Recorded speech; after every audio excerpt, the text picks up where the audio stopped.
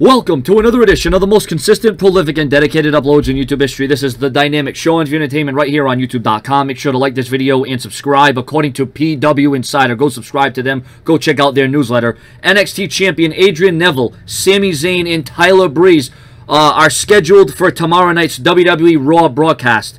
Zayn and Breeze are currently scheduled for the next few weeks of main roster TV tapings, while Neville is currently scheduled to be at the tapings well into the month of October, which is a huge positive, a huge momentum booster in my estimation, ladies and gentlemen. I said that NXT rumors, news, and headlines in breaking news would come to Show Entertainment, and that's exactly what I'm going to present to you because this is what I believe in the future and the longevity, the building blocks of the company.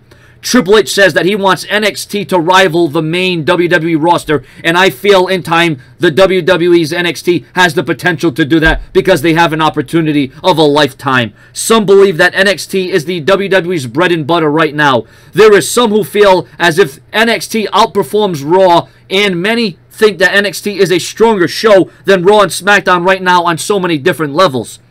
Uh, is that because the change in creative for SmackDown in NXT, or is that because of the talent put on display, or is it a mix of both? There is a tremendous opportunity to showcase NXT like never before.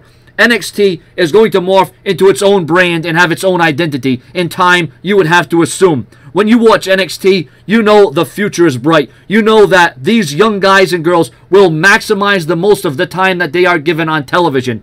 NXT is all about performing, and that's what you will get with NXT a guaranteed strong showing 95% of the time.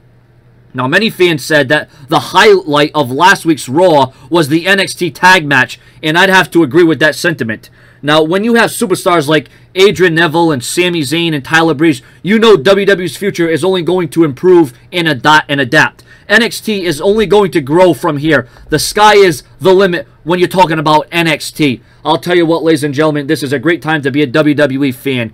And you know, a lot of people coming on here and they're talking about how the WWE Raw has been lackluster and it's it's been lacking in, in matches and, and the direction. And like I said, NXT right now is red hot.